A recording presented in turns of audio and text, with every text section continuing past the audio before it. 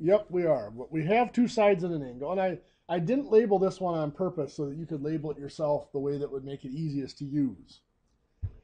There's two sides and one angle, and we discussed all the possible downfalls. This one falls into the category of having the angle between the two sides, which means we do not have an angle on its opposite side, so we cannot use the law of sines. We are stuck using law of cosines here. Remember, law of cosines is that c squared equals a squared plus b. Perfect. It's the Pythagorean theorem with this little adjustment factor here for the fact that that's not a right angle. So it's easiest for us if the angle we're given is angle C. We'll call the other angles A and B. So that makes this side little c, little a, little b. So now, c is what we're looking for here. a squared is going to be 18 squared. b squared will be 23 squared. Minus 2 times 18 times 23 times the cosine of 71 degrees. Now I'm going to punch this all in my calculator. And I'm going to do the square root to get rid of that squared. So I'm going to put that all under the square root sign. Okay? So I'm just going to do second square root. And I think you guys both have calculators that have this two-line display. Is yours a two-line display, Richard? Uh, there's like Hold- four line display. Okay, so you, you can put the whole thing in at once. Okay. There's some of the one-line displays where you can't. I'd have to show you a little bit different way of doing it. So you hit the square root, then 18x squared plus 23x squared minus 2. Oops, no squared on that. 2 times 18 times 23 Now times. cosine. cosine C, is that in parentheses? Nope, it doesn't have to be in parentheses because it's all multiplication, so the calculator should do that first. The only thing you have to have parentheses around is the 71 and the cosine. If your calculator automatically puts the open parentheses, you have to close it. Right, it was the first one. right? Yep. So we hit equals and we get 24.154. Well, what the- Did yours work? The second time I did, Okay. I got twenty-four point eight seven one four eight the first time. Did you hit one number just slightly different? I got twenty. I must have been, yeah. Hey, I it. Don't know why I wrote the 5 up there. That should be 4. 24.154. Now, of course, once we have that, now it's just the law of sines to find the angles. We have to use that 24.154 over the sine of 71 degrees. And which angle do we want to find first, A or B? Now, there is a correct answer here. The smaller one, which will be A. On the smaller side. You labeled them differently? Okay. So it'll be 18 over the sine of that angle, whether you have it listed as A or B. So we will cross multiply sine of 71 times 18. So sine of 71 times 18 divided by that answer. 0.7046. So now we have to do an inverse sine. So A will be the inverse sine, 0.7046. So second sine, second answer. 44.79, 44.80 degrees. So this is 44.80 degrees.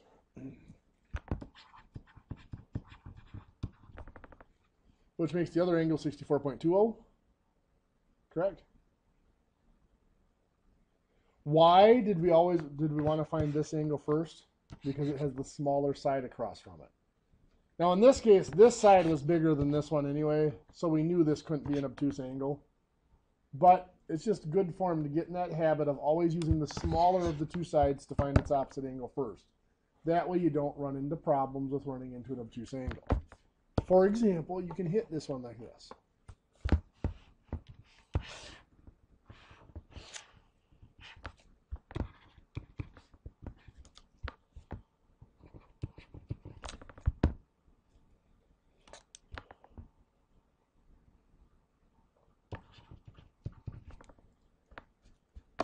So I'm going to label this.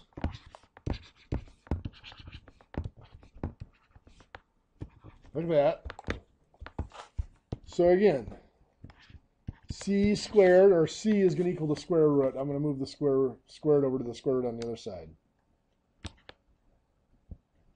21 squared plus 8 squared minus 2 times 21 times 8 times the cosine of 32 degrees.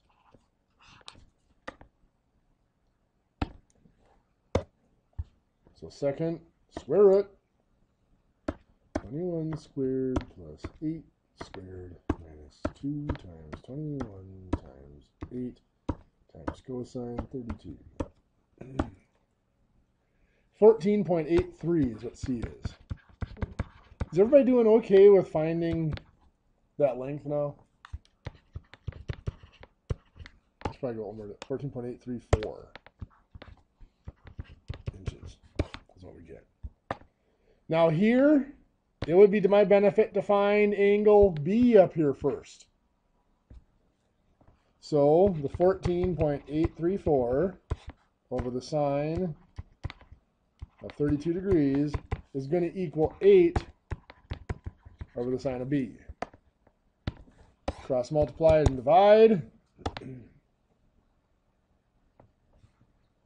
Sine of 32 times 8 divided previous answer. 0.2859. And we do an inverse sine. Gives us b is 16.61 degrees.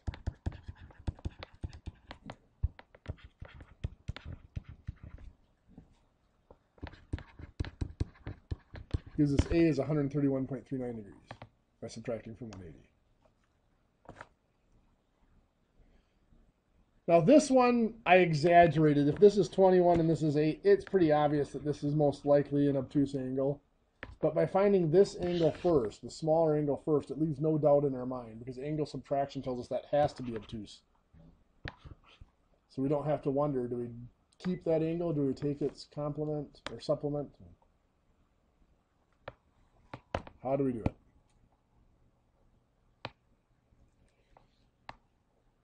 Now I'm going to show you an application of this law of cosines. It's maybe a little bit tricky. Everybody got that one down? You need to wait a second. You got her? The first couple of problems I just showed you, you can just punch numbers in and crank them out and you're good to go. This next one, not as easy. you have to do a little algebra in the formula.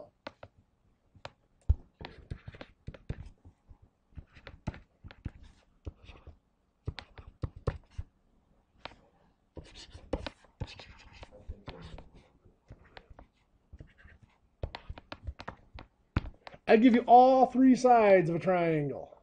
Guess what? We can find an angle. Find angle C. And the only reason I'm doing angle C is because it fits easiest. The angle I'm looking for, it's easiest if I make it angle C. So now remember, C squared equals A squared plus B squared minus 2AB cosine C. So C is 23. A is 21. B is 18. So 2 times 21 times 18 times the cosine of C. Now here's what I'm going to do is I'm going to treat the cosine of C here as though it's my variable, x. Does that make sense? Now, can you do that same formula? B squared equals A. Oh, heck yeah. Plus C squared. Yep. Minus two AC. Then cosine B. Yeah, if you put A, B here, this has to be angle B. If you put A here, this has to be angle A. Yep. Yeah, you can rearrange it. With the AB. Yeah. You put B there, you have to Put A. C in. Yeah, exactly. Yeah. And that's what I do. I don't bother relabeling stuff anymore. I can switch the formula around in my head and just switch the letters. But a lot of people, when they're starting out, they've got an oh C, they got to look here and find C and put it in. So yeah, but if you can rearrange it, that is just fine. So here, I'm going to treat the cosine of C as though it's my variable. That's going to be my x for right now. So 23 squared. 529. 21 squared. 441. 18 squared. 324. 2 times 21 times 18. 756. Right? You. You'll trust me? Okay. And then that's going to be your x. Remember, x is really the cosine of c, but I'm just going to put x there for now. Yeah, times x. So I can combine these two, but I cannot subtract the 756. Why not? Because it's multiplying x. Exactly. So this is 529 equals, I add those up, I get 765 minus 756x. Now I'm solving this for x. So I'm going to subtract my 765. So that's gone. This is now going to be a negative 236. Right? Equals negative 756x. Now what do you think I'm going to do? Divide by a negative 756. Which makes this a positive. A negative divided by a negative is a positive. 236 divided by 756. 0.31217. Now that equals my x, but remember x is really the cosine of c, right? So to find c, it's an inverse cosine. So C is second cosine, second answer. 71.81 degrees. Just found angle C. What do you think? Easy? Well, the solving the equation is the hard part. And some people get confused by me putting x in here for cosine C. But most people struggle to solve for cosine C, so putting the x in there makes it look more like a regular equation. You know, I don't usually put the x in there when I'm just doing it myself. I do that to try to help students see that this is a variable that I'm solving for. But then when you're done, what you've found is the cosine C, so you have to do an inverse cosine.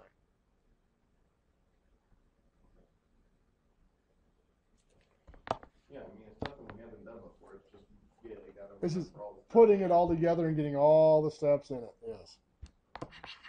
Up a little bit. I gave you this assignment yesterday, but we'll write it down again for you. 382 through 385. 18 through 42.